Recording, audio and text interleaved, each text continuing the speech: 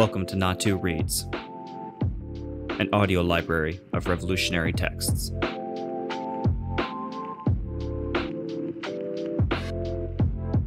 From a Native Daughter Colonialism and Sovereignty in Hawaii by Haunani-Kay Trask. Part 4 Native Hawaiians and a White University.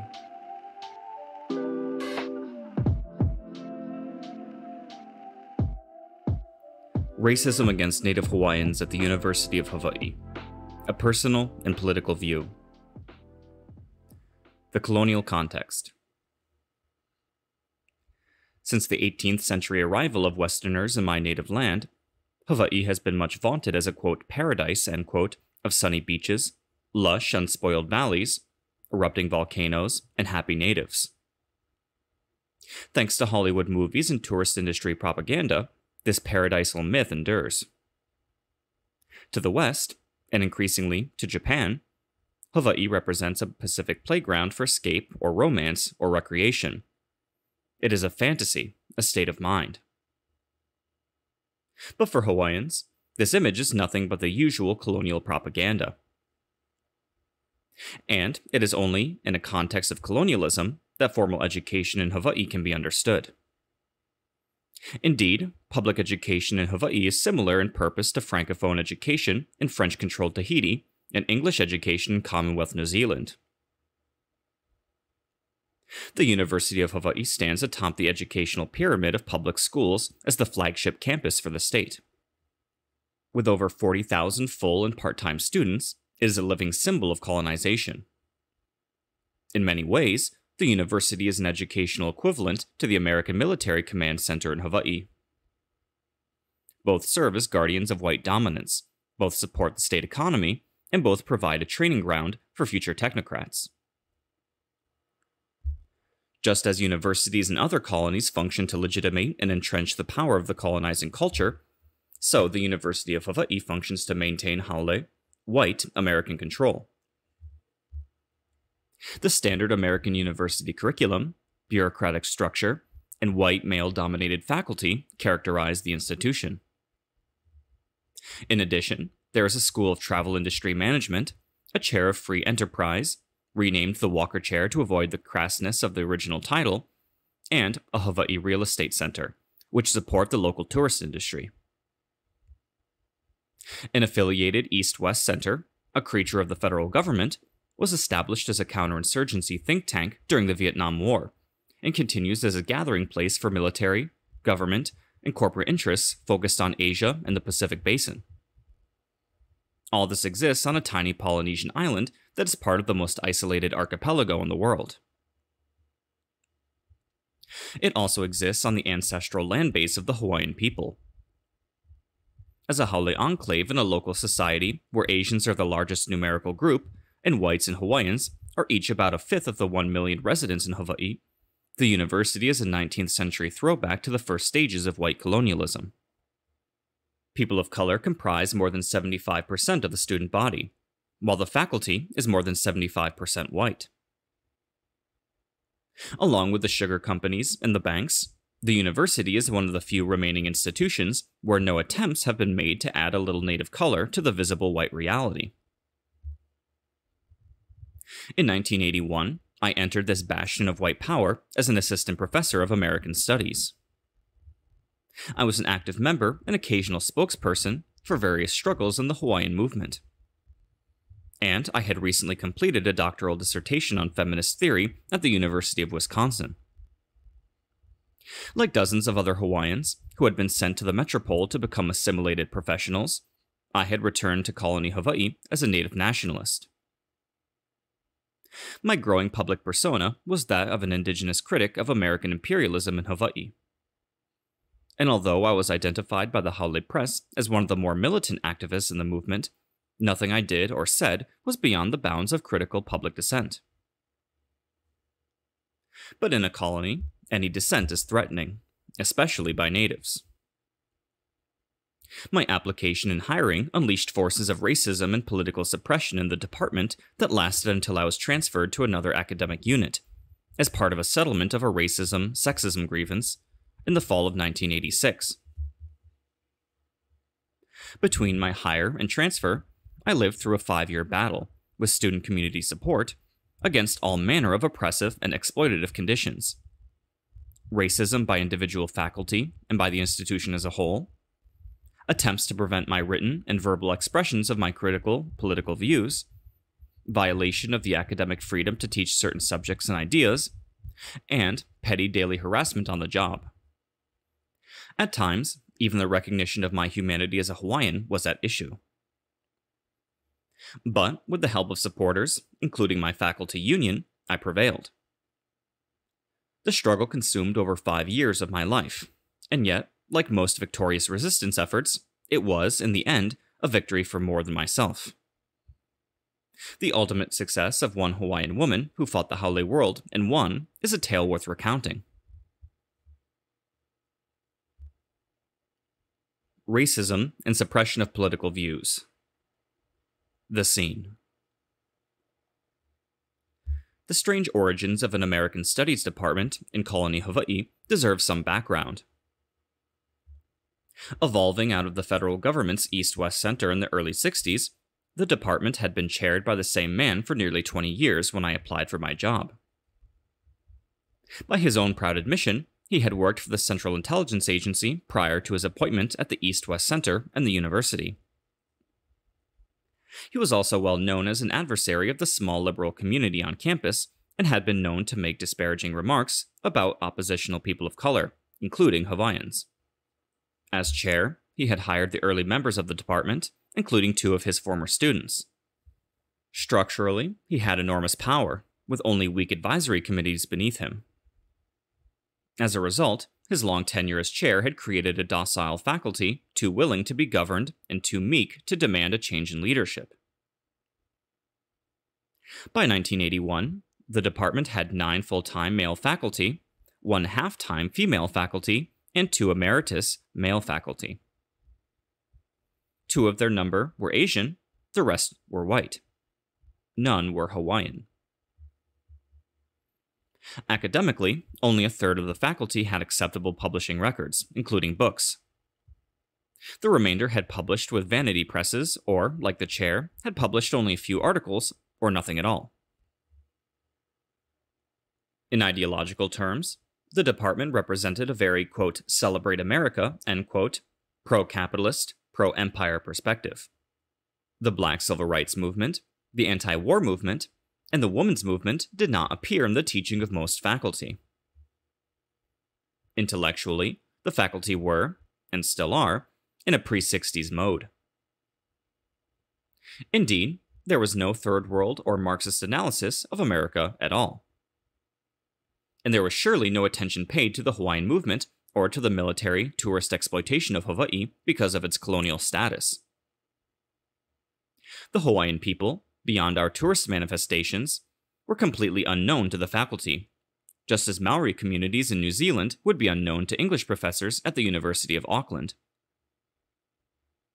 Finally, the characteristic isolation of academics from the surrounding community was compounded by the racism of a faculty who felt superior to the general public, including students, because they were so overwhelmingly Asians or Hawaiians, or, as Americans are fond of repeating, quote, non white, end quote.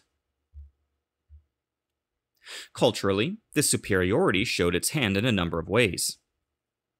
Disparaging remarks were often made by faculty about pidgin speaking local students who could not, rather than would not, speak what the faculty called, quote, standard English, end quote.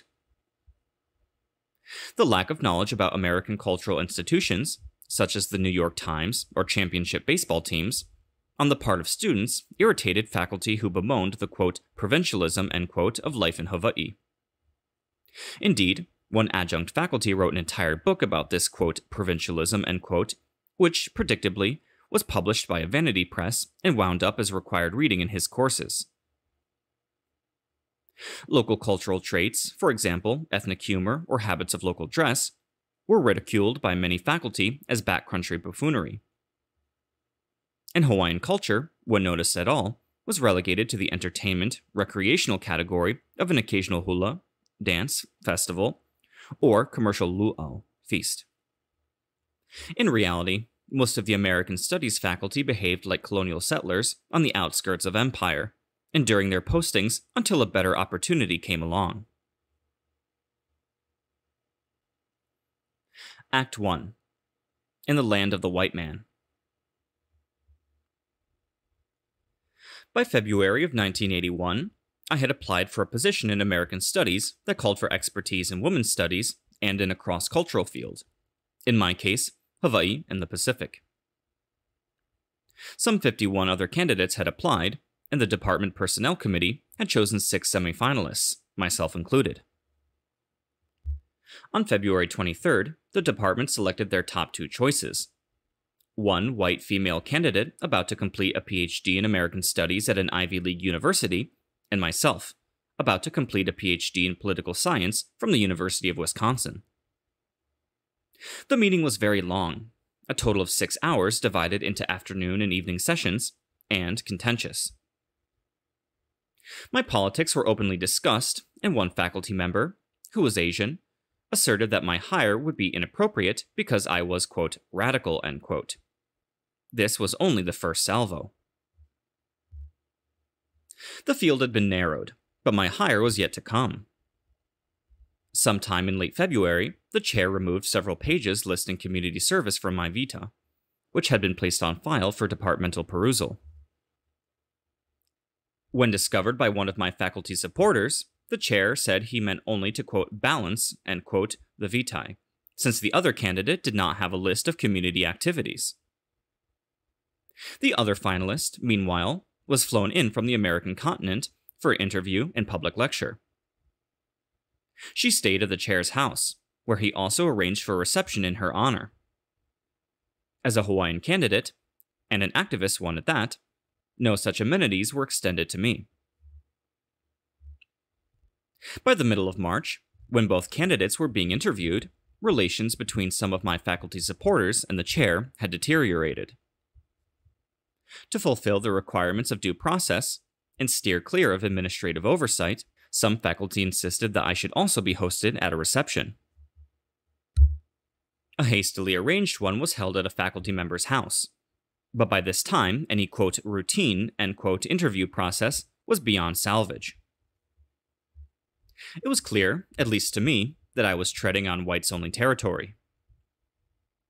Despite the presence of two Asians of the department, both of whom self identified as assimilationist and spoke openly against my hire because I was an activist, my presence was perceived, at least by the chair, as a Hawaiian encroachment. On March 20th, the faculty voted. According to my supporters, the meeting was filled with such argument and accusation regarding my quote radicalism end quote on behalf of Hawaiians that everyone felt exhausted in the end. After an initial tie vote, I was selected on the second ballot, which visibly upset the chair. Later, he would tell other faculty that they had betrayed him by voting for a quote troublemaker end quote. As in the past, the faculty assumed he would follow established procedures and offer the job to the chosen candidate, that is, to me. Instead, he called the other finalist, said the faculty was hopelessly, quote, split, end quote, and the position, quote, frozen, end quote. I, of course, never heard from him. Two weeks of silence elapsed before I called the Personnel Committee chair to tell him I'd heard nothing. He was flabbergasted. As a white, Yale educated male faculty member, he had nothing in his personal experience to prepare him for the chair's overt and boastful racism. While we spoke, I noted that the department chair might withdraw the position rather than follow the faculty mandate to hire me, a suggestion that elicited laughter and a reply that I was, quote, paranoid, end quote. On April 10th, at a faculty meeting called by the chair, he read a prepared statement. The following is a direct quotation from the chronology of events kept by the Personnel Committee. Quote, the chair said he believed the university and the department were not democracies, that they were rather, quote, authoritarian and paternalistic, end quote, in fact. He went on to state that the provost, the chancellor, and the president of the university had all been approached by him and they had agreed to block Trask's appointment. Consequently, no one was to be hired for the slot which had been empty for several years. Not a single faculty member spoke in support of the chair's actions. The response, on the contrary, was at first shock over the violating of department collegiality, openness, and agreed upon procedures, and then a unanimous request that the chair reconsider his stand. Faculty supporters later told me the chair said I was, quote, unqualified, quote, for the job, but gave no reasons why he thought so. The day after this debacle, I gathered together a group of student and community supporters and resource people, attorneys, researchers, photographers, to strategize our position. Given the faculty's vote, and thus their confidence in my credentials, and given the historic antagonism between whites and Hawaiians, it was clear to us that the chair's actions were racist. Of course, the American Studies faculty would continue to deny that racism was involved at all, choosing instead to dig up the familiar academic smokescreen of lack of, quote, collegiality, end quote, by the chair. As Hawaiians, however, our experience told another story. All the obvious signs of racism were present in the chair's behavior fear at my application, nervousness at my presence, procedural, quote, irregularities, end quote, during the interview process, vociferous denial of racist behavior, and finally, outright rejection of my hire. But the worst was yet to come. On April 16th, the chair called another meeting with me and four faculty who supported me. When the meeting began, there was a menacing strangeness in the air. As we took our seats, the chair turned off all the lights, and in the unannounced and eerily threatening dark, he began a slideshow. His narrating voice, tight with anger, seeped out of the projection booth. One by one, horrifying slides of Nazi victims at Buchenwald hit the screen. After a few minutes, the chair began making references to his heritage as a Jew, which, he heatedly insisted, made it impossible for him to be a racist. No one, to my knowledge, had accused him of racism, nor did he say anyone had. I felt him to be on the jagged edge of insanity. When the slides were finished, none of the faculty spoke. I began to wonder why I had ever wanted a job in such a crazy department. The chair came to the table in a trembling fury, saying, to our complete surprise, he would hire me. He had failed, he went on, to secure a part time, non tenured track position he called a quote, compromise, end quote. Thus, he was forced to offer the original position for which I had interviewed. Various faculty tried, in a timid and roundabout way, to tell him that his behavior was, quote, inappropriate, end quote, and that I was being unjustly treated. One professor, who was also Jewish, pleaded with him about his attitudes regarding Hawaiians, intimating that his reference to the Jewish Holocaust was both strange and irrelevant. None of the faculty mentioned the slideshow directly, pretending they had not seen it. Neither did anyone express anger at the chair's intimidation in the meeting. The sense of the faculty seemed to be that he was still the chair and deserved their deference, no matter how obscenely he behaved. I had been spoken about in the third person for 20 minutes with not a single verbal acknowledgement of my presence in the room. Although all faculty invited by the chair had voted for me, none felt any obligation to speak to me directly. The scene moved toward the bizarre. Not knowing what else to do or say, and feeling both humiliated and very angry, I asked for an opportunity to speak, which was granted almost gladly by the faculty. Of course, the chair still refused to recognize me. I recited the recent events that brought us to the present, reminding everyone, especially the chair, that I had survived a national search. I noted that the other finalist, who was haole, would never have been mistreated if she had been selected. To me, this was evidence enough that I was suffering discrimination because of my race and my politics. The chair's earlier comment that I was, quote, unqualified, end quote, only underscored my point. I concluded by saying a letter of intent to hire should be drawn up immediately. The faculty eagerly agreed. They understood events were out of control but were reluctant, even nervous, about moving ahead.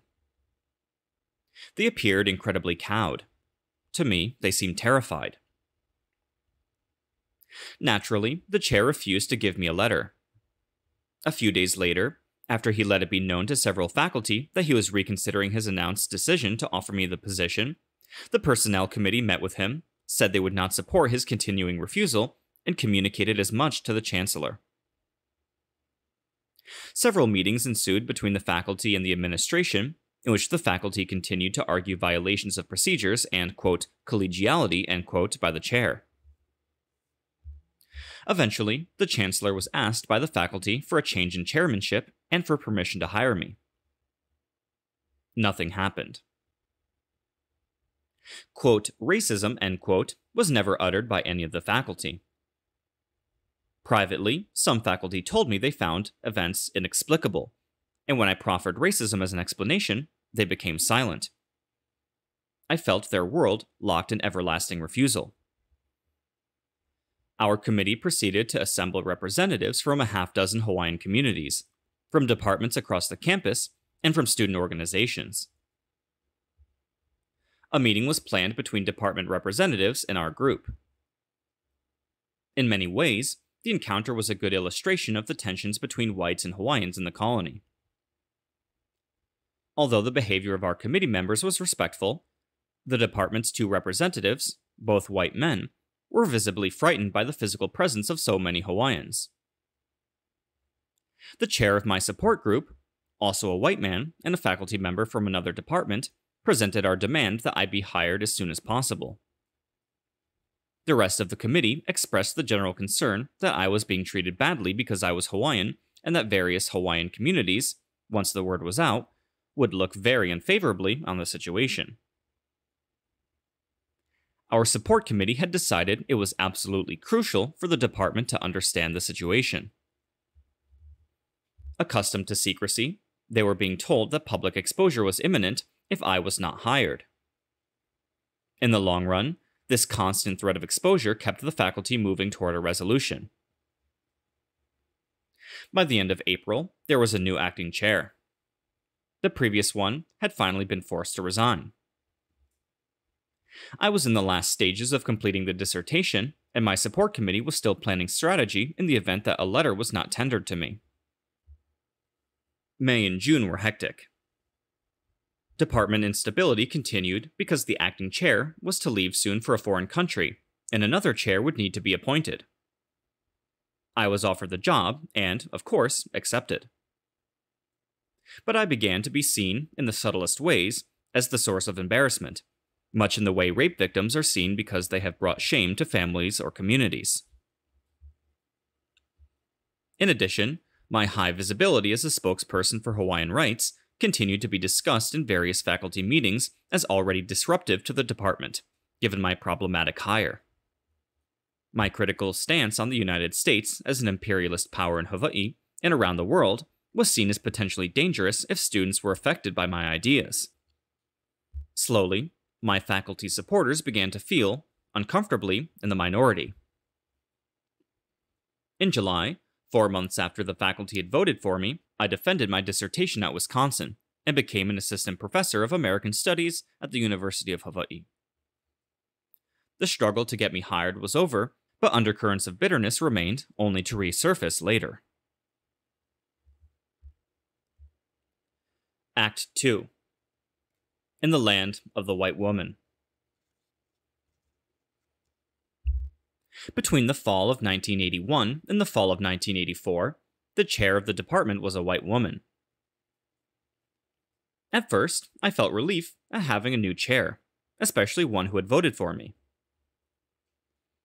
A month into her appointment, however, I began to sense that nothing had changed. Intellectual, political, even stylistic differences became the source of heated conflict between us. Her belief that there existed a correct way, a culturally correct way, of speaking and behaving made it clear to me how white hegemony in Hawaii and on the campus would mean a tight constraint on my cultural behaviors. I was to start acting, as we say in Hawaiian, as a ho'ohaole, someone who behaves like a white person. I was shocked, bemused, furious, and depressed. Very depressed. I was told, for example, what to teach and what not to teach. In my required reading of an introductory course on American society, I had included sections on racism and capitalism as basic American institutions and ideologies. The chair pressured me to remove those sections and supplant them with units on the family and Christianity. I refused, but the disagreement left a bitter feeling between us. Regarding faculty meetings, the chair tried to tell me what to say and what not to say, even how I should speak. After one faculty meeting, she took me aside to say that I should, quote, treat the faculty appropriately, end quote. Given that I had disagreed with several senior faculty about their treatment of Asian foreign students, which I considered discriminatory, it was clear that she meant I was not to argue or challenge other faculty, especially as I was a junior member of the department. Of course, such constant directions to me resulted in constant fighting, as I very much resented being patronized.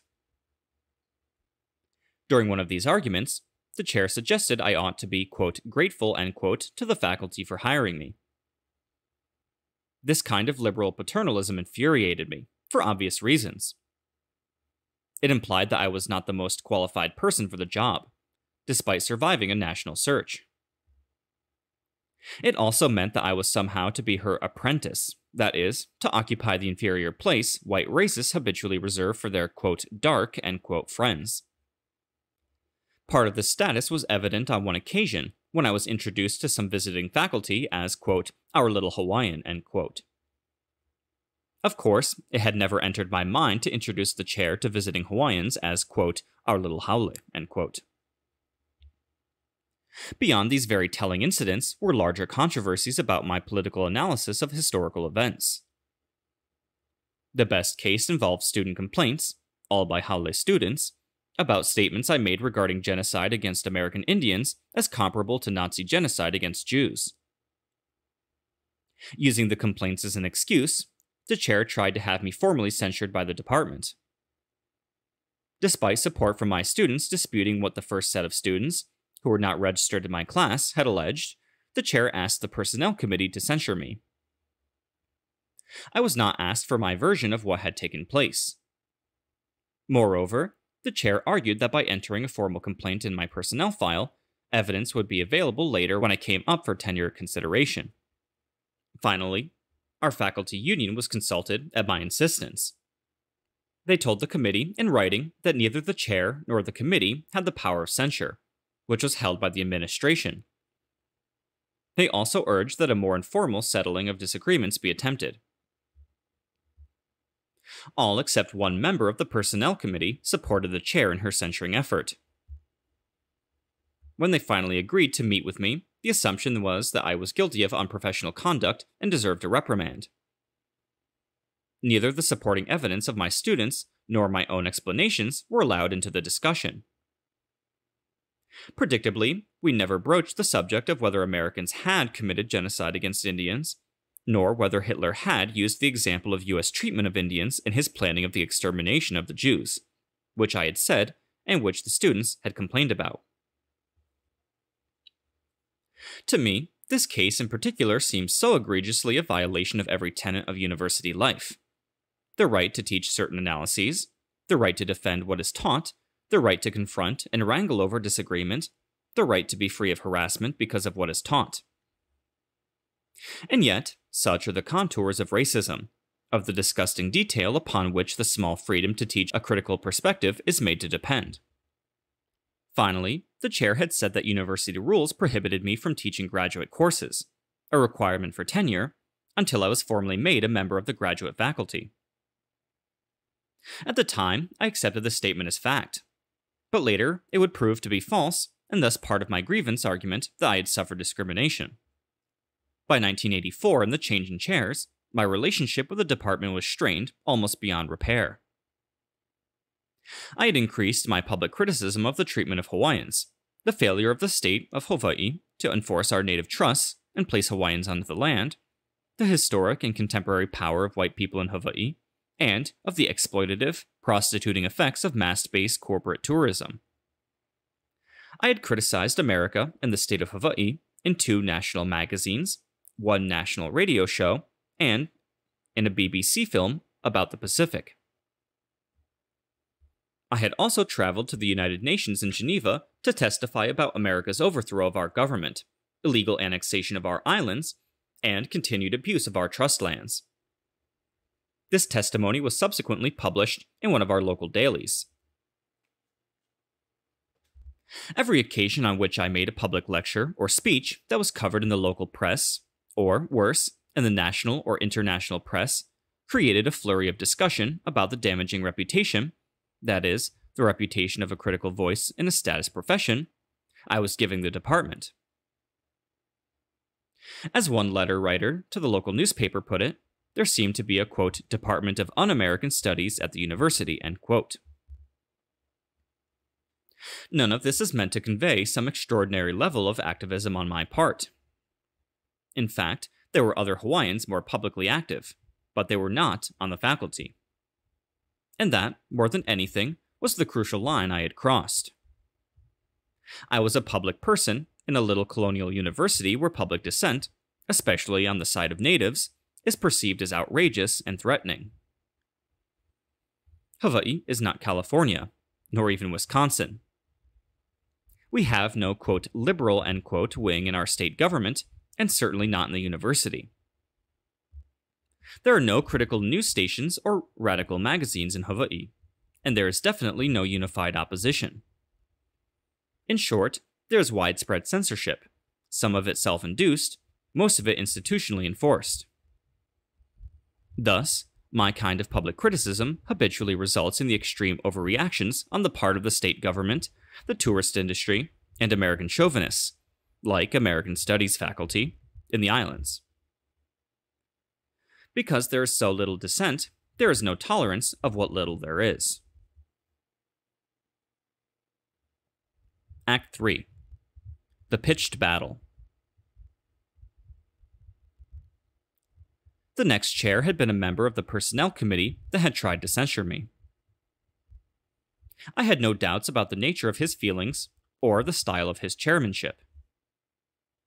Like his predecessors, he was authoritarian, elitist, occasionally racist, and always hostile to any changes I suggested or privileges I desired. The deterioration of working conditions made me rethink my whole strategy. Up until 1985, I had been operating defensively. Every little struggle began with my reaction to some policy on the part of the chairs. Despite worsening relations and increasingly damaging yearly evaluations, I kept performing in the hope that my record of scholarship, teaching, and service, if excellent, would force the faculty to vote for tenure. But a combination of factors shifted me into an offensive strategy. The first was the constant reference in discussions with the chairs and in my yearly evaluations to my, quote, straining collegiality, end quote, in the department. Since, quote, collegiality, end quote, was a requirement for tenure, a requirement, by the way, that had been added to departmental criteria only after I was hired. I sensed that, quote, collegiality, end quote, would be the reason given for my eventual firing. The second factor was the impossible trap of being required to teach a graduate course for tenure consideration at the same time the chairs denied me an opportunity to do so. Finally, when the department hired a white male assistant professor with a brand new PhD and no publications or teaching experience, and gave him a graduate course in his first year, I filed a sex and race discrimination grievance with our union. Before the filing, I tried one last time to talk to the chair into allowing me to teach a required graduate course in my field. His answer, without explanation, was no. The grievance forced the battle into the jarring light of public scrutiny. It took over a year and a half to come to completion, during which time my relations with the past two chairs collapsed into near war. Since they were both named in the grievance, they both felt under attack. I alleged that I had been deceived, discriminated against, and obstructed in my professional duties, for example, teaching a graduate course, because of my race, my politics, and my gender. Because I was very critical of the United States, and because I was Hawaiian, I was being denied what non critical white men, some of whom were less published than I, were being allowed as a matter of course. The whole episode smelled of white male privilege. Our faculty union supported my efforts and greatly strengthened my arguments. Their presence forced the conflict out of an individual arena into an institutional one. The chairs now had to respond, even if perfunctorily, to an interested party outside the department. As the grievance made its way through layers of administrative bureaucracy, it was interesting to analyze the responses. At the first two stages, the administration, in the person of a hearing officer, found for the department. This was not surprising, given that chairs are considered to be representatives of the administration and the departments. The basic finding had been that denying me a graduate course was a chair's managerial prerogative. On this reasoning, anyone could be denied all sorts of rights of employment. The principle of, quote, fair rules fairly applied, end quote, would never make headway when chairs had such power. At the third stage of the grievance, however, things began to change. The issue went to the Union Grievance Committee and then to the full Union Board for a vote. This stage was crucial because my perceptions and arguments would be examined by other, non involved faculty. If the Grievance Committee recommended to the Board, which subsequently voted to seek arbitration, then my peers saw merit in the case. Although this was not a judgment of the issue, it did give me an enormous boost of confidence when the union moved quickly to the arbitration stage. While both chairs had an opportunity to respond to my charges of sex and race discrimination at the first two stages of the grievance, they took a nonchalant attitude to the entire process. But when the union voted favorably, they began to harass board members badgering them by phone about the alleged unfairness of the grievance committee procedures. Although the female chair had never complained about the procedures when she was on the union board, she found them suddenly biased. Finally, a long letter from both chairs to the union president emphasized that if my allegations were found to have merit by an outside arbitrator, the university could be in violation of federal civil rights laws. The chair's letter was intended to frighten the board, possibly even to force them to retract their support of my grievance. But it had the opposite effect. Board members were shocked at the crude efforts to influence them. Eventually, the union president directed them to maintain confidentiality. For me, the chair's letter gave proof to my argument that every attempt I had made to discuss my situation resulted in being treated even more like a pariah. The union board was now being harassed as I had been, and they did not like it. Unwittingly, the chairs illustrated the very conduct I had deplored. By the time the university, the union, and I had agreed to an arbitrator, a change in personnel in the upper reaches of the administration had occurred. Drawn from the faculty, these new people dealt with grievances in a less adversarial manner, seeking negotiation rather than arbitration. Again, the public nature of arbitration gave the university pause. For the sake of image and for the well being of faculty administration relationships, in house resolutions of conflict were preferred. After three months of serious discussion, a satisfactory agreement was achieved. I was transferred to the Hawaiian Studies program and became the first full time faculty member there given that I had been working with faculty across the campus on a Hawaiian Studies task force and had published in that area as well, it was a near perfect choice. For me, no other move could have been better. My position was also transferred, which infuriated the powers at American Studies. Since they were scheduled for a gradual loss of four positions through retirement, however, my unexpected departure actually helped them. They also did not have to worry about losing a grievance on sex and race discrimination. I had won, but I had also spent nearly five years under terrible employment conditions because I was both a Hawaiian nationalist and a critic of the United States. No victory, no matter how sweet, could repay those lost five years. Conclusions Simple Truths and Strategies. I applied for tenure in Hawaiian Studies in the fall of 1986. With a book, seven articles, and a good teaching record, I felt able to withstand scrutiny from anyone. An ad hoc committee unanimously recommended for tenure and promotion, which was granted by the Board of Regents in July of 1987.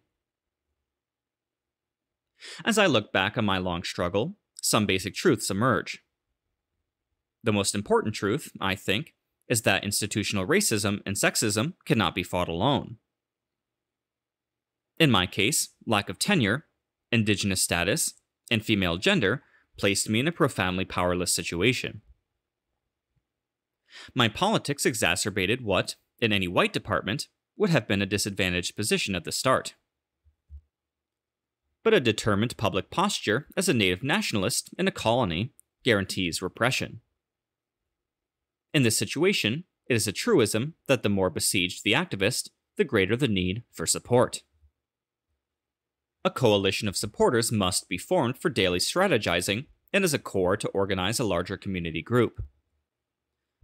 For faculty who have attentive publics, like feminists, environmentalists, and African American, Asian, Chicano, and Native activists, this organizing effort will prove crucial when negotiations finally occur. And the group will remind both victim and institution that the politics of the issue encompass more than just the person involved. In terms of strategy, the struggle must not bog down on individual players. For example, all three chairs in American Studies were discriminatory, but the first chair acted in such a freakish manner that it seemed for a while the problem was his alone. The behavior of the chairs over the next four and a half years proved this wrong. But even if it were otherwise, the tendency to see events as individual acts must be countered by a smart political sense that tells us as people of color when institutional racism is operating. Political analysis must always be primary when formulating strategy. Tactically, public exposure is the best weapon in fighting an institution whose actions depend on secrecy. In Hawaii, the myth of racial harmony, indeed, of a veritable racial paradise, has so thoroughly obscured the existence of racism against Native Hawaiians that any charge of such is considered false on its face. Beyond our specific problems, universities in general are nervous about racism because they purport to uphold principles long since negated by the rest of the business world. It is always wise to hold the university to its professed ideals, because the potential for embarrassment is large. Other tactical lessons are less central, but good to know such as the fact that liberal supporters, who have no professed ideology or analysis, and are just, quote, nice people, end quote, will be duly shocked by racism, and will offer private expressions of sympathy, but will refuse to join a support committee. They suffer from the fear of public activity that afflicts so many academics. Of course, in my case, such people had nothing to lose, while most of the Hawaiians who supported me had much to lose a day's pay or other difficulties with work or even families, but felt the injustice so keenly that they were willing to take some risks. Professors, especially white men, were generally unwilling to take risks. In addition, a few supporters were able to go part of the way but gave up at a certain point, because the struggle dragged on and on. This kind of attrition is predictable but must not be allowed to affect the issues or the strategies. Still, more than any other obstacle, this depleting of forces depresses the group. In my case, the Union filled a big gap here because their staff were both paid and emotionally distant. And as far as unions go, it is my absolute belief that people of color need unions, even mediocre ones, because having some institutional voice is better than having no institutional voice. The quote, white male boys club, end quote, is for white males, and on occasion for compliant white females. But it is no protection for activist faculty of color. The most obvious conclusion is that racism and sexism are the evil within. Nothing, not the 60s, not Third World Wars of liberation, not a minuscule middle class of people of color, has changed any of that. Everywhere in the academy, racism and sexism and a host of other oppressive creatures are festering and growing.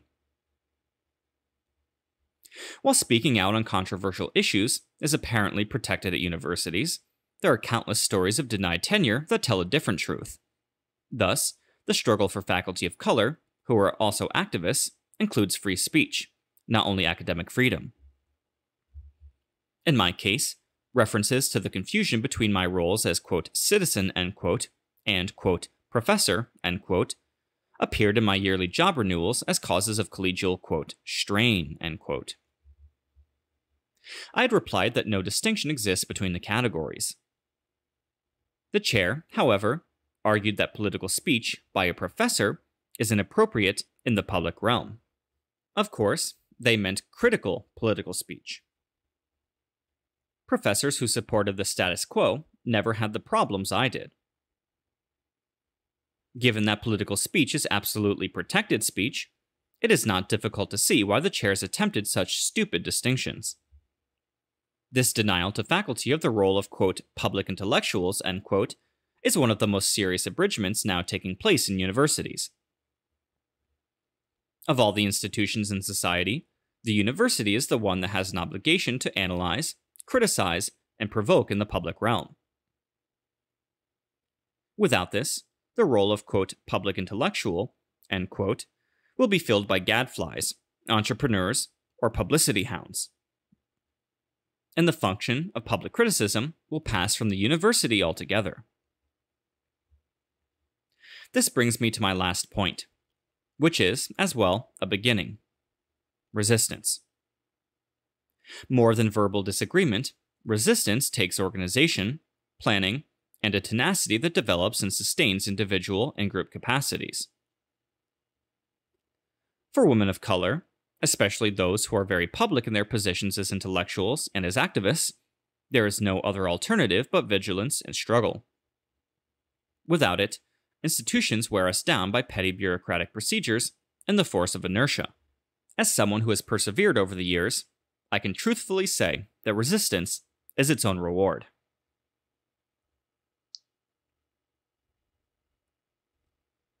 The politics of academic freedom is the politics of white racism.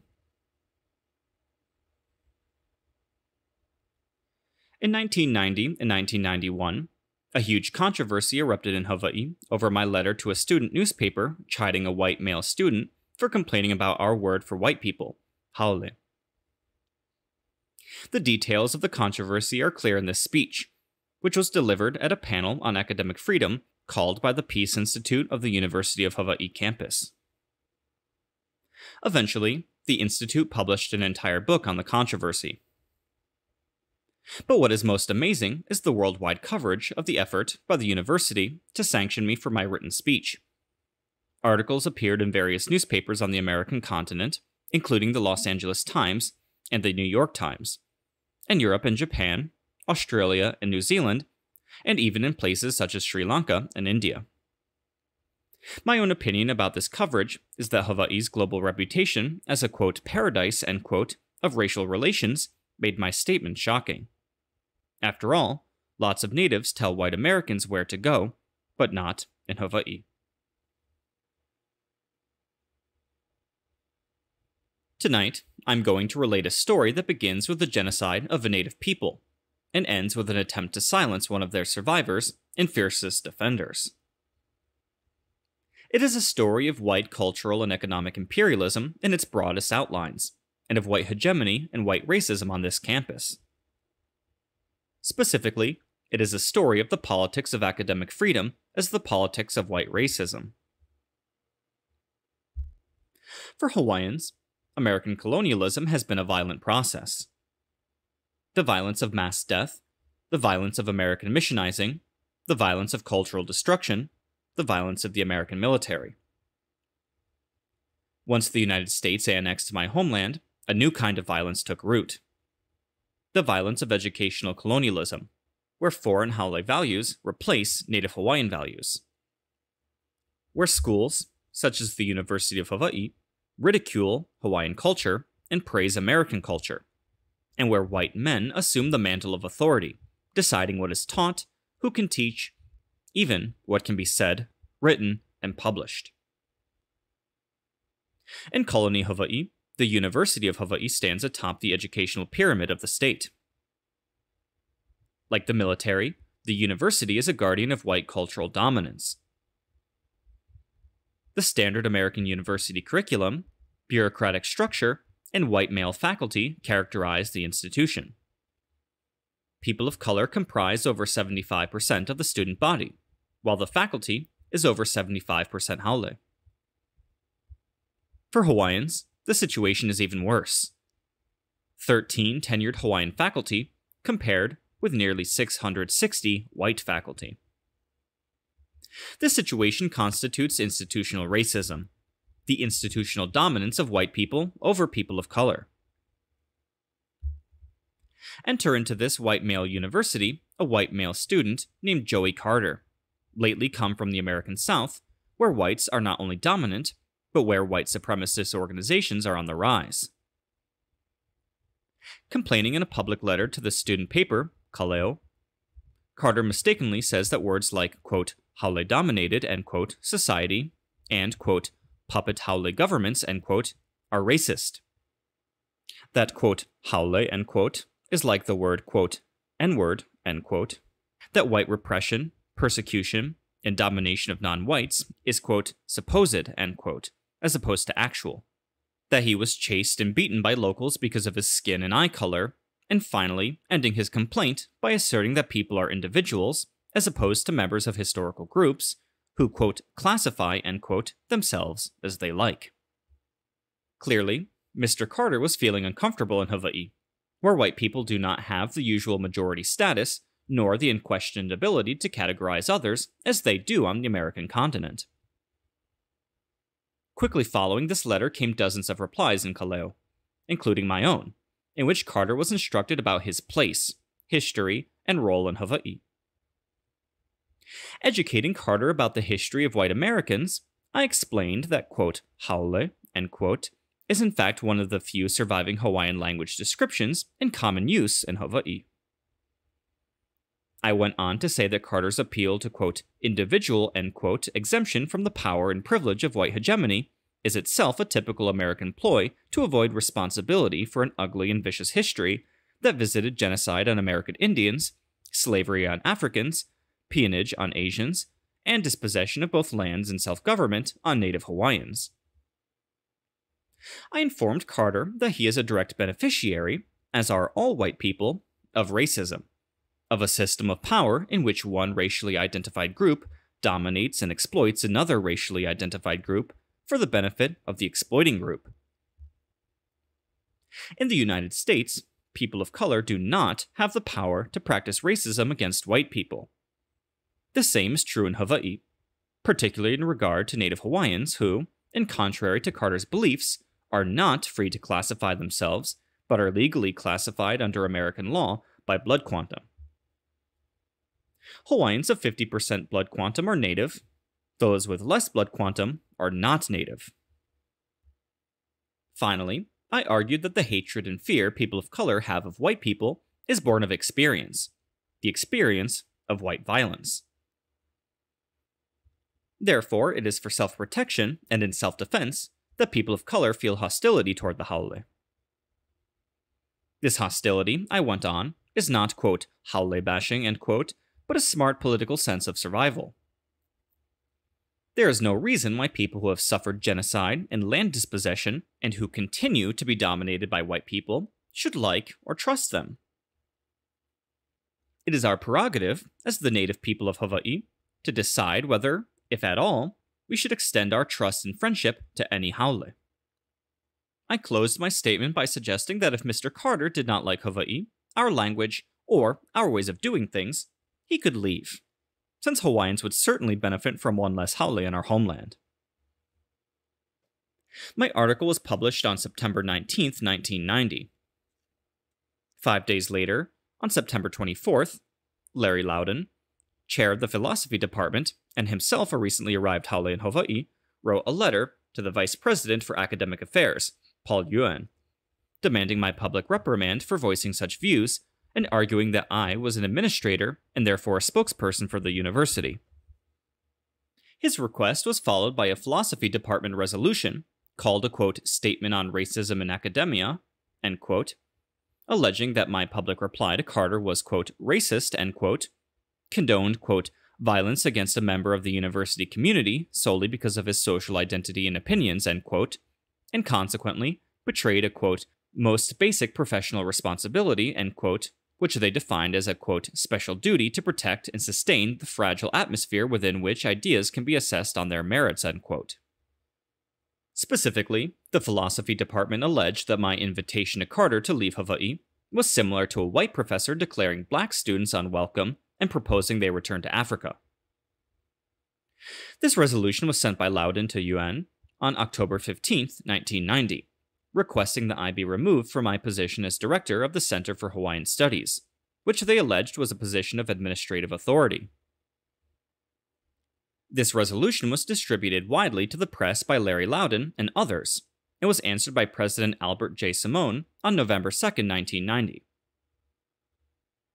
Simone assured his good friend, quote, Larry, quote, that, quote, administrators may not speak for the University of Hawaii without appropriate consultation with senior officers of the university, quote. The president ended his letter by saying that his administration does not condone creating an, quote, unfriendly, intimidating, and non supportive environment for faculty and students, end quote. On November 3, 1990, the Faculty Union of the University of Hawaii reaffirmed academic freedom at the university, quote, for the expression of all points of view regarding the racial issues recently raised on the Manoa campus, end quote. And endorsing fair and open debate about race, colonialism, and any other related issues in Hawaii. The union went on to reaffirm its position that chairs and directors are not administrators, but faculty included in the collective bargaining unit, and as such, are free to speak their minds without fear of sanction by the university administration. On November 8, 1990, President Simone announced his intention to conduct an investigation into my statements, thus violating all semblance of confidentiality, something he prizes for white men. Simone told the Honolulu Advertiser, 9 November 1990, by phone from Japan that he believed I was an administrator and that administrators must accept, quote, the principle that some things are better off not said publicly, end quote. I think it is clear that Simone had made up his mind by this point. My public statements were not protected by academic freedom of free speech. While Simone conducted his investigation, the faculty senate began their own, triggered by the same philosophy department resolution. For the first time in its history, the Senate, another white male bastion, decided to investigate a fellow faculty member for written public statements. Without precedent and procedures, the Senate moved ahead on the basis of the Philosophy Department resolution alone. Thus, by the middle of November, a quote, witch hunt, end quote, had begun in earnest, and the white male quote, boys club, end quote, was hysterical with venom. Indeed, white men led the charge, with people like Gary Fuller of the Geography Department comparing me to Hitler and Saddam Hussein, and Dick Miller of the William S. Richardson School of Law telling the faculty senate that my thinking was similar to that which led to the rise of Nazi Germany and resulted in the internment of Japanese Americans. Ken Kipnis, of the philosophy department, meanwhile, told one of my faculty supporters that the Hawaiian movement was like the Ku Klux Klan, and that I would have to decide whether I wanted to be a professor or a member of the movement. Charges of impending violence against white people surfaced everywhere, with the most virulent being made by Larry Laudan himself, proclaiming that I was giving, quote, hunting licenses, end quote, to my students and other Hawaiians to beat up Haole. This is the same Larry Laudan who told KHON News that my, quote, brand of radicalism, end quote, did not belong in a university, while attacking a rally in my defense as a form of, quote, terrorism, end quote, on campus. Despite my numerous calls, and those of my supporters, for Laudan and others who disagreed with me to come forward and debate the issues, I was charged and condemned in the media and in the faculty senate as a racist. The phenomenon known as McCarthyism, where individuals are accused falsely and never given an opportunity to confront or disprove their accusers, began to characterize the campus atmosphere. Hate calls and mail began to surface in the Hawaiian Studies office. Ka Leo ran a poll asking if students thought I was a racist, and stickers began to appear on campus attacking me personally and raising the specter of violence by white supremacist groups. Meanwhile, the faculty senate proceeded, as did President Simone, both determined to condemn me without once speaking with me. Indeed, most of my accusers had never read or thought seriously about my statement. They were content to read the philosophy department summary or the ellipses in the Honolulu dailies. The implication seemed to be that white men do not lie, so I read what the native said. Just trust the interpretation of her statements by knowledgeable white men. And of course, this is where the problem began. The philosophy department, like Joey Carter, is ignorant of the scholarly and novelistic studies and portrayals of racism. Thinking that racism is a matter of color and not of history and power, the philosophy department intentionally misread my statements, which Larry Laudan then viciously recast, saying I was justifying violence against Carter. However, I never justified violence against Carter, only our rights as native and oppressed people to feel hostility toward the haole. Just as Palestinians are justified in their hostility towards Israelis, just as Jews are justified in their hostility toward Germans, just as the Northern Irish are justified in their hostility toward the British, just as all exploited peoples are justified in feeling hostile and resentful towards those who exploit them. So we Hawaiians are justified in such feelings towards the haole. This is the legacy of racism, of colonialism. I explained the long history of white violence against people of color precisely to educate Joey Carter about his place in history. For it is white people, and not people of color, who have a history of violence against others. In Hawaii, it is the Haole who took our land, took our government, destroyed our nationhood, and suppressed our culture. It is white people who created laws to divide Hawaiians by blood quantum. It is white people who created institutions foreign to our ways of life. It is white people who brought capitalism to Hawaii. In other words, it is white people who, for their own benefit, have exploited and oppressed Hawaiians. Carter, like most white people, did not know or want to learn any of this. But if I did not argue for violence against Haole, then why did the philosophy department and their vicious chairman say that I did? The answer, I believe, lies in the fears and resentments of the Haole themselves.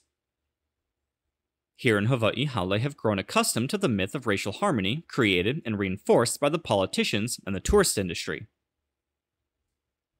Haole live in predominantly white or Asian neighborhoods, and if they know anything at all about Hawaiians, is that we have a funny, unpronounceable language we appear on television as activists or other lawbreakers trying to stop development, and we have a deep wound, called the overthrow, when the all white American government took our sovereignty.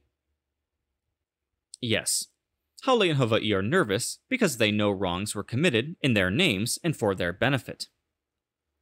So, when an uppity native woman educates one of their own about his white history and his obligations to natives, their fears and anger spill over into crazy accusations that, if examined, reflect back on their own sick history of violence. As Frantz Fanon has taught us, dark skin and dark people are the classic boogeyman of the haole. White people know that all over the world, people of color have been brutally and unjustly treated by white imperialism. White people know how violent they have been to each other and to us, and they know our grievances are real and thus they imagine how much more violent we would be to them, with our real history of violations. This is why every demand for respect and recognition of dignity on our part is read as a sign of violence. This is why white people so fear black people in the United States, despite the fact that it is white people who have a history of violence against black people, and not the other way around. White violence, then, has a long and sick history. In the world, in the Americas, in the Pacific, and right here in Hawaii. And this continues to be denied. The denial is evident in the Philosophy Department resolution. For white male power and white racism are alive and well here on this campus. Where else but a colony would a native woman be investigated by three committees for exercising her right as a native and a citizen to publicly criticize a white man? Where else but in a colony would white administrators talk babble about, quote, responsible, end quote, speech? Do they mean the quote responsible end quote speech of Larry Laudan defending certain forms of sexual harassment in a student publication called Voices? Or the quote responsible end quote speech of Ian Reed, another white man and faculty member, arguing the mental inferiority of women in the same student magazine? Or the quote responsible end quote speech of Dick Miller, accusing me of creating an atmosphere similar to the one that led to Nazi Germany in the internment of the Japanese? Or the quote responsible end quote speech of Ken Kipnis comparing the Hawaiian movement to the KKK when our movement has never been violent? Is this speech quote responsible end quote because it was spoken by white men in support of continued white male power? Indeed, in the long history of Hawaii, it is white people who have killed Hawaiians, beat Filipinos and Japanese on the plantations, and lynched and shot workers and denied them decent wages. It is white people who wanted statehood and who continue to deny us sovereignty. It is white people who continue to live on stolen Hawaiian land and thereby benefit from our dispossession. Thus, quote, responsible, quote, speech, as it is defined by white men, creates the parameters of academic freedom. White men can say all manner of dangerous, violent, and false things and tell absolute lies, in fact, like the lies of Miller, Kipnis, Laudan, and the rest, and their speech is acceptable. But when an articulate native woman speaks the truth about the haole, she must be reprimanded, removed, and shut up. No academic freedom for her, nor free speech either, because by definition, dissenting speech, speech that criticizes and opposes the prevailing system of colonial domination, cannot be, quote, responsible, end quote. Why? Because such speech is dangerous. It is the voice of political analysis and of a critical, alternative intellectual tradition. In my specific case, what I wrote about in my newspaper article was the truth, the unalloyed, ugly truth about haole power in the United States and in Hawaii. This truth has anchored a great tradition of resistance created by Black and American Indian and Palestinian and Asian and Pacific Islander peoples. Further, this tradition is unknown and untaught by most Haole in this university, which means by nearly 80% of the faculty. Native people do have a claim to feel hostility toward their oppressors, and Hawaiians would benefit from one less Haole in Hawaii. In fact, we would benefit from thousands less, beginning with the military. Indeed, native people all over the world would benefit if their colonizers went home. So we come to the last McCarthy like accusation by the philosophy department. I am guilty of racial harassment because my public statement created a quote, climate of intimidation for Joey Carter. First, let us be clear about what Joey Carter did. He wrote a public statement in a public forum stating a position for which he alone is responsible. Part of that responsibility is that he must answer for his argument and for the reactions it provokes, both favorable and unfavorable, just as I am responsible for my public statements. But when Carter received unfavorable responses from myself and others, he chose to blame his personal misfortunes on me and then to run away from the controversy. This in itself is irresponsible. In other words, Carter wanted to dish out nasty remarks, but he did not want to be responsible for them. Let us pursue the question of a quote, climate quote, of racial intimidation. How did I intimidate Carter when I have never met, seen, or spoken with him? Indeed, to my knowledge, I have never even been near him. Am I, then, one of those primitive natives with all sorts of, quote, black magic, end quote, at my disposal, who conjures up climate systems, say rain or snow, or in this case, racial intimidation, at the scribble of my pen? Apparently I am. Or so think Larry Laudan, Ken Kipnis, Dick Miller, and a host of other white men. To discover whether I created a quote, climate of intimidation, end quote, Tom Gething, the university's dean of students, investigated Joey Carter's allegations against me. After several months of inquiry, he released his report. The following is a direct quote from Dean Gething's findings. Quote, I have found no evidence that Dr. Trask, who has never met or spoken with Mr. Carter, discriminated against him in regard to his race or color. I have found considerable evidence that a hostile environment in regard to race or color exists at the University of Hawaii Manoa. This condition existed prior to Mr. Carter's column and Dr. Trask's response. It is clear, moreover, that the existence of this hostile environment was brought to the attention of the community and was highlighted by the two columns in the ensuing events. However, I have been unable to determine a cause and effect relationship between either Mr. Carter or Dr. Trask and the existence of this condition. Dean Gething says nothing in his report about the racist historical antecedents of this, quote, hostile environment, I have suggested that they are to be found, for anyone interested in searching them out, in the colonization of Hawaii. A hostile climate does exist at the University of Hawaii, and the best evidence of it lies strewn all over the campus in hate flyers calling for the physical dismemberment of an Asian woman who is an anti war protester and a supporter of mine, describing a black student from Nigeria who had the courage to support me as a quote, N word, end quote, and a quote, dumb black boy, end quote, and calling me a quote, dominating lesbian sex offender, end quote. But these are only flyers, you say. Well, then, let us turn to white men and their classes such as Mark Merlin of the Department of General Science, whom my students have complained about to the administration because he teaches that the royal insignia of our ali'i, called lei palaoa, are made out of female pubic hair. Or let us take Gary Fuller, who compared me to Hitler and whom my students also complained about because he says Hawaiian language is dead and not worth learning. Or a number of political science and history professors who say that Hawaiians practiced infanticide when no credible evidence exists that we did. Or all the snide, off the cuff remarks that tell Hawaiian students their culture is primitive, undeveloped, or inauthentic. Does this create a hostile racial environment? Is this a form of racial intimidation?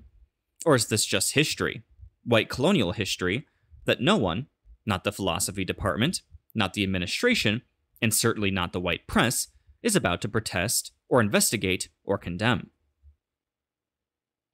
Yes, there certainly is a hostile environment on this campus. An environment that is similar to colonial environments in occupied countries all over the world. An environment that is native hating, that keeps power in the hands of the colonizers, and that attacks any dissenting voice, any political alternative. Intimidation on this campus is enforced by white racist ideology that praises and reproduces white racist culture and ensures the dominance of white faculty, white administrators, and white curriculum. This situation constitutes, quote, intimidation, end quote, and worse. This situation constitutes racism. The racism of white men with access to power, of Larry Laudan and the philosophy department, of certain members of the faculty senate, and of President Al Simone and his administration. The racism of members of one racially identified group, the Haole, who oppress and subordinate another racially identified group, Hawaiians and other people of color, for the benefit of the exploiting group. For who benefits if Hawaiians are degraded, if they are kept to a small population on campus, if one of their number is publicly investigated and removed? Who benefits? White power benefits, and white men benefit. Hawaiians, of course, lose. They lose a voice, they lose a fighter, they lose a place where defiance is taught and encouraged. And all of us lose the richness of critical ideas, cultures, and people. Academic freedom, then, The freedom to learn, to teach, to argue, and above all to dissent, is determined by white men. If they do not like what you say, they will try to shut you up by punitive actions and public vilification. Let me just end by way of an update. All three investigations triggered by my column have been concluded in my favor. Nothing I did was worthy of reprimand or removal. But the message of all this investigating is simply this If, in a public forum, faculty members of color exercise the right to argue a position that is contrary to and critical of white ideology, they will be investigated. Moves by white faculty or white students against people of color will be protected, however. The fact that President Al Simone has said to the Honolulu Star Bulletin that publishing flyers calling for the physical dismemberment of an Asian woman who is an anti war protester is the same as my supporters holding a rally and my Hawaiian Studies program publishing a newsletter reveals that the president has lost all sense of proportion. In particular, the Nazi like quality of the flyer against Mari Matsuoka, calling for her, quote, sterilization, end quote, and the, quote, fumigation, end quote, of this, quote, vermin, end quote, from the campus is shocking. The combination of super patriotic militaristic ideology in the flyer, with this call for physical harm against Mari, is a clear sign of the vicious intent of these racists. How President Simone can compare this to public statements in support of my position, although dissenting from his own, is remarkable. It seems that the president cannot distinguish between signed public disagreements, that is, in opposition to white ideology, and anonymous death threats. Even the police consider such threats to be criminal and a violation of state law. But we have a president who thinks such behavior is only, quote, deplorable, end quote, and not criminal, and who thinks that dissent equals physical harm. To me, this state of affairs proves what I've been saying, as a Hawaiian and as an intellectual, all along. White men protect white men. This university protects white hegemony. If any of you had doubts about this, the latest response from President Simone, equating public dissent with death threats, proves my point. I am certain the president would not think the same about death threats to white men. Please think about the comparisons I have drawn. When dark people are treated with less dignity than white people, that is, when Hawaiians and Asians and other people of color suffer racism, and when threats against their safety are considered unimportant, indeed frivolous, we are living in dangerous times. Postscript The controversy was actually more physically threatening than I explained in my speech. I received five hours of taped hate calls, including death threats, at my home. My Hawaiian female students received rape threats from white male students. My staff of the Center for Hawaiian Studies received threatening phone calls at work, and an assistant professor and I were physically threatened by a white man, age 56, at my office. Although most of this was known to the president and his staff, none of it was considered as dangerous as my letter to the student paper. It is obvious that in Hawaii, where Hawaiians fill up the prisons, harassing and threatening us is keeping the peace. But criticizing white men is perceived as a danger to the entire social order.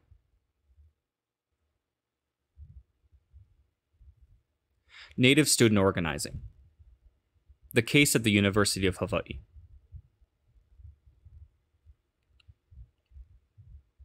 Like most Native programs in American universities, Hawaiian Studies was founded only after a long struggle, which included endless lobbying of two university administrations and of three state legislative sessions for funding. We had to contend with a lawsuit designed to stop our Hawaiian Studies building and with hostile white faculty on the campus who thought, predictably, that natives should not have five acres to themselves to teach about their culture and people. Hawaiian Studies, both in theory and in reality, became a site of engagement. This locus of struggle generated enormous public attention and thereby attracted more Hawaiians to our campus and to our center. Like many such programs on the American continent, Hawaiian Studies was born of intense resistance. For 10 years prior to our establishment in 1987, Hawaiians throughout our archipelago were engaged in struggles for the land. These included efforts to stop military misuse of our lands, to protect our lush, natural environment, including wetlands, coastal regions, and agricultural lands, and to prevent urbanization. Eventually, land struggles became part of the push for Hawaiian sovereignty. Given that the United States had invaded Hawaii in 1893, overthrown our queen, Liliuokalani, and put in her place an all white sugar planter oligarchy, Hawaiians organized to reconstitute our government.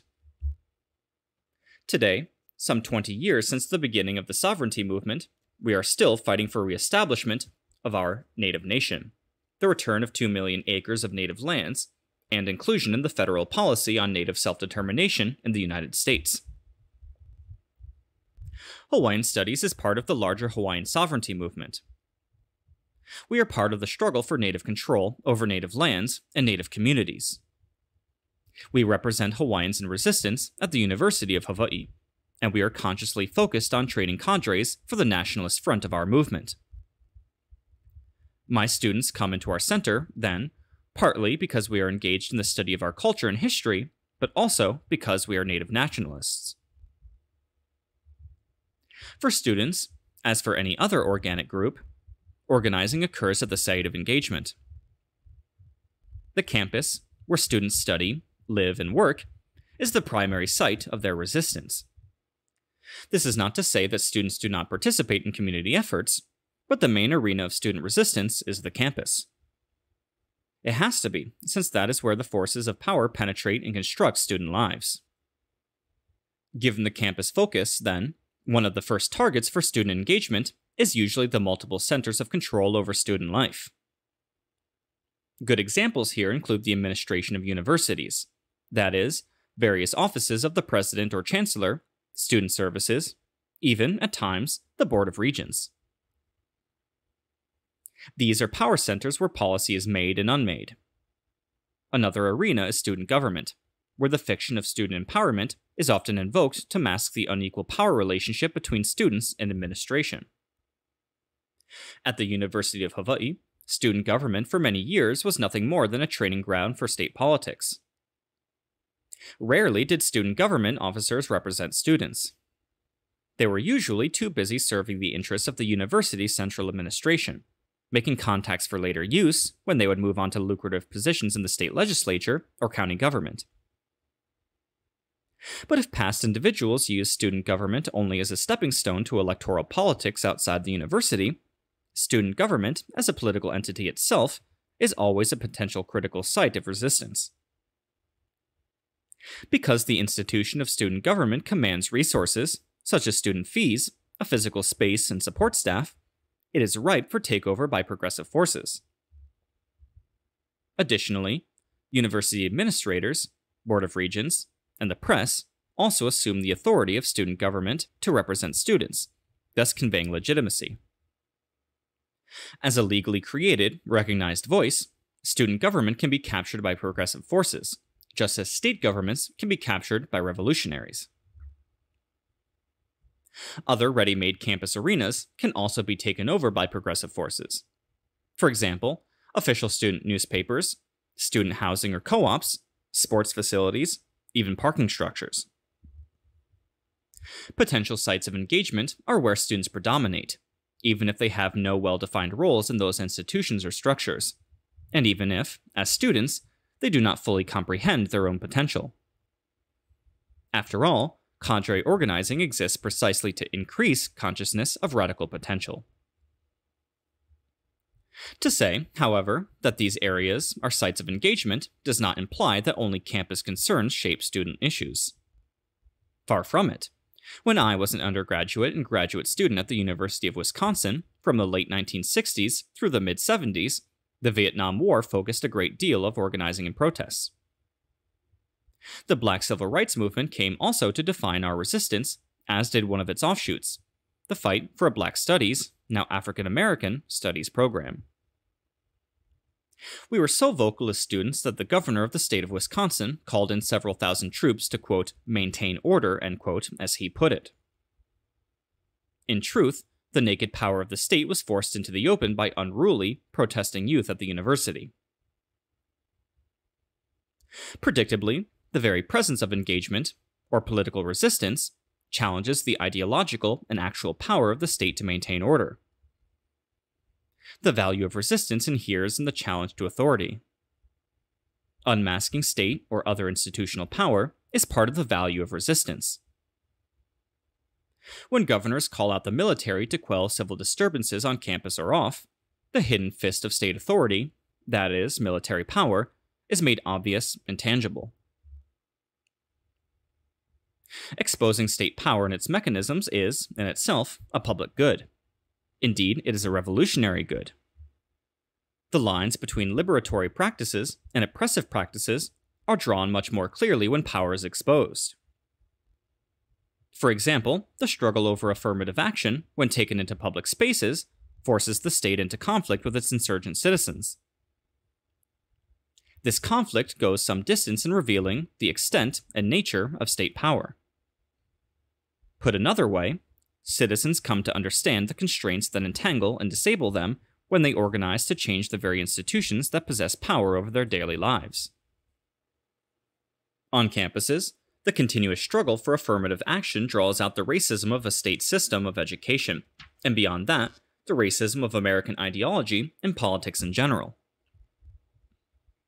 Without such a challenge, the absence of people of color on campuses is naturalized, is made to seem representative of the existing order of things. The presence of so many white people, or in the Hawaiian case, so many non natives, on our campuses is made to appear as a kind of Darwinian natural selection, instead of the intended result of entrenched systems of class and race and settler discrimination. The challenge of Hawaiian studies, indeed our very presence, and my particular relationship to the powers that be, generated so much resistance on the part of the administration and some faculty departments that we were under siege for nearly a decade.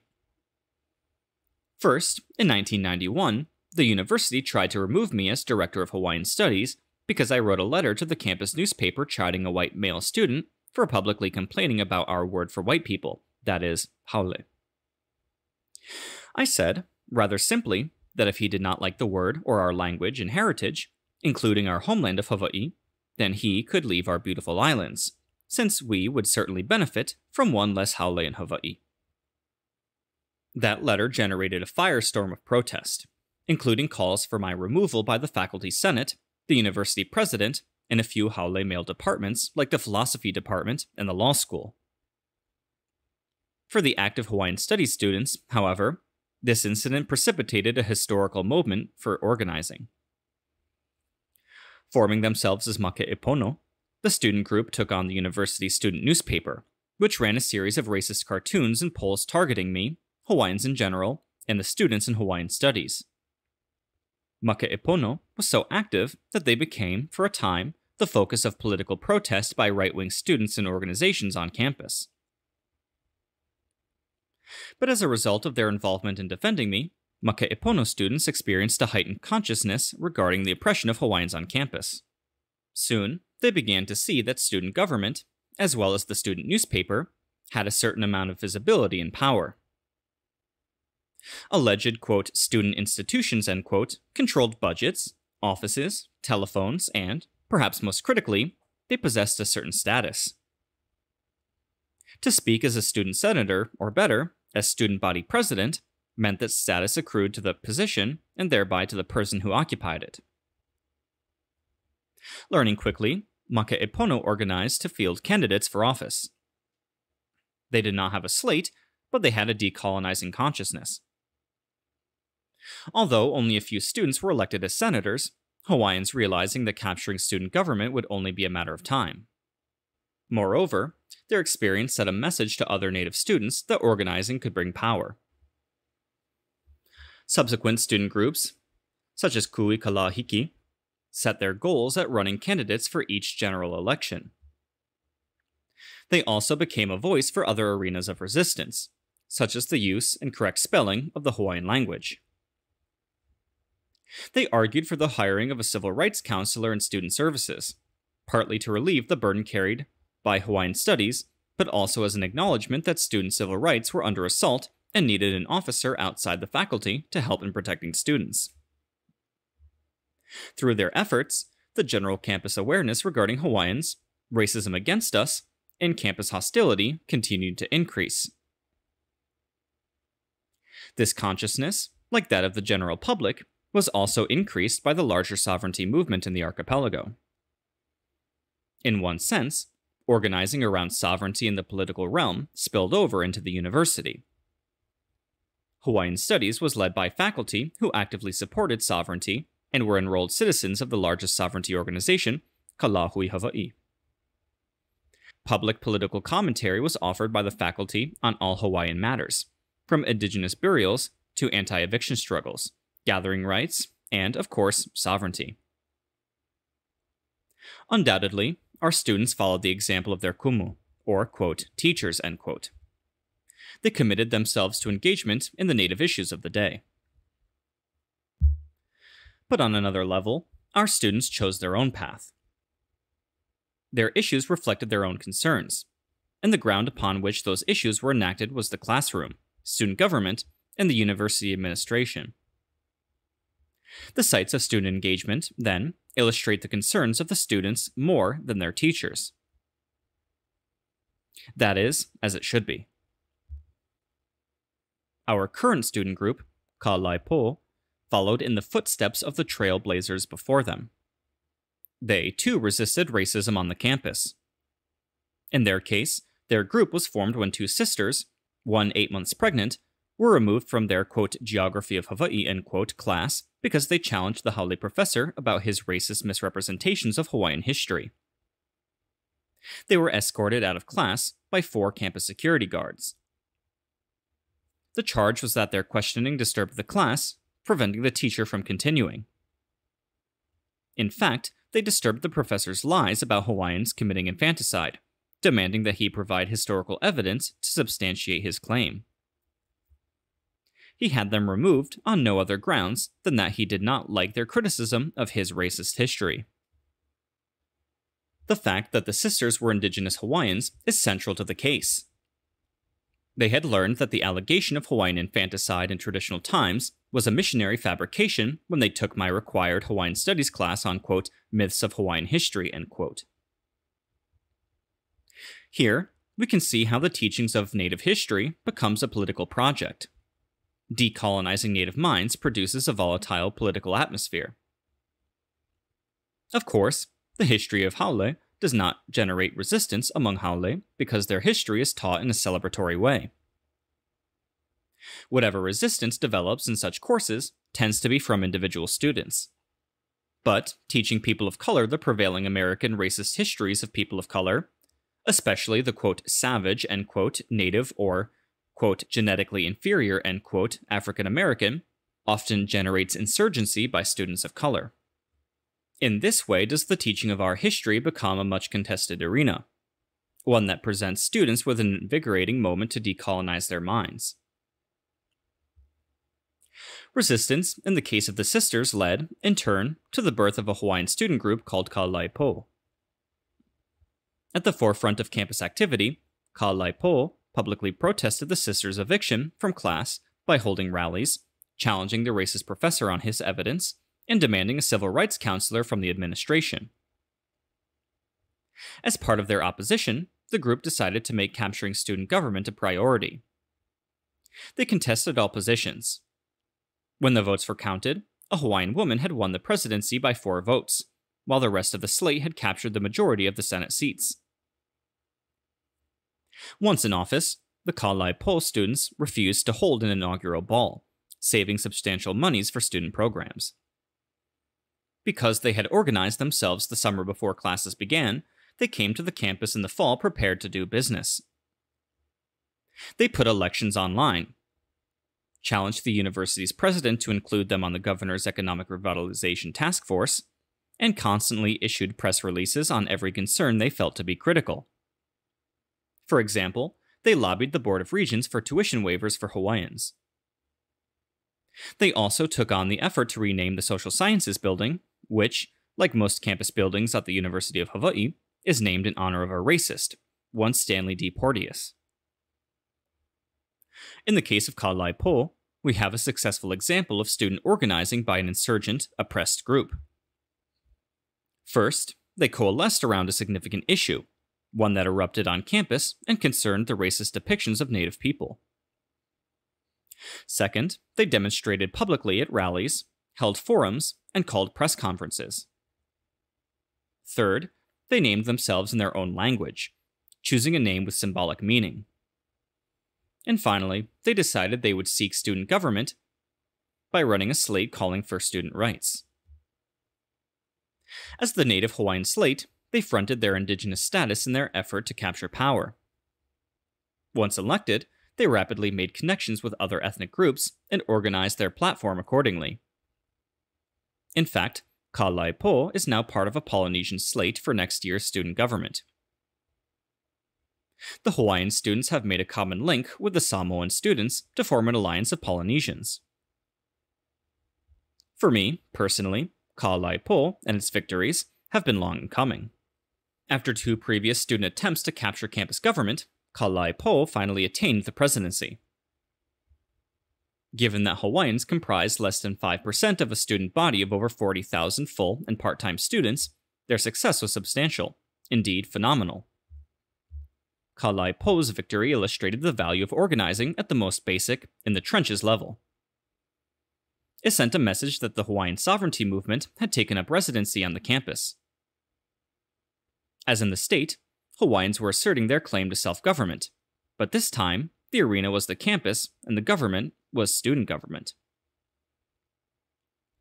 I am also pleased to say that the leadership of Ka Lai Po has been predominantly female. The Associated Students of the University of Hawaii, ASUH president Mamo Kim, is female, and, not inconsequentially, 47 years old. Most of the ASUH senators are female. Most of the hardcore organizing has been accomplished by women. And obviously, and obviously, the major advisor to Ka Lai Po is female, namely myself. Is this accidental? I do not believe so. Women are at the forefront of our sovereignty movement. Women lead our Hawaiian Studies Center. Women represent most of our leadership in established organizations. In brief, women are on the front lines, the battle lines. There are historical and cultural reasons for this, but the history is not as important as the reality. The reality is simply that women are there, where the action is, where the people live, where the nation resides. We are ready to take risks, to dig in for the long haul, to be present and counted. Not only counted as numbers, but counted upon, responsible, enduring. This was true of the 1960s black civil rights movement in the South. Then, women and young people led the organizing efforts. The same is true for our sovereignty movement today. And the same is true for our campus organizing. Women lead, and, in our movement, they have been the finest leaders. Our students have made alliances with Samoan students, with some Haole, or quote, white, end quote, students, even with the few African American students on campus who are engaged in student government. To me, our women's leadership is really quite natural. That is to say, our women's leadership is everywhere, in every field, in every category. The same is true, now, of campus leadership. The presence of our woman is partly explained by our sovereignty movement, but it is also explained by our amazing individual and cultural strength. As Hawaiians, we expect leadership among our women. I expect it of myself. This is the way of our people.